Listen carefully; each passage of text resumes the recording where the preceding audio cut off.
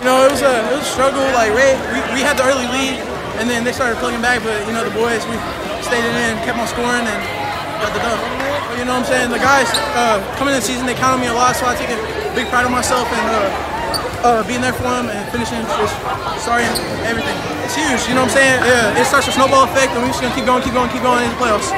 Saying we just want to hit shots. Uh, we came out, we came out hot. We want to keep that and uh, keep the whole game, keep that same intensity uh, through all the games. We got a big game at East next week, so we're going going to a away game. It's gonna be tough, but we're gonna go and try to get the go. We played well at the end. Uh, we didn't shoot well tonight, but man, our kids show a lot of grit and fight. They knew this game was very important because it kind of forces a full-way tie in our zone. So for, it was important for both both teams, but they came through and made plays down the stretch, especially the last two minutes. We played really well the last two minutes the.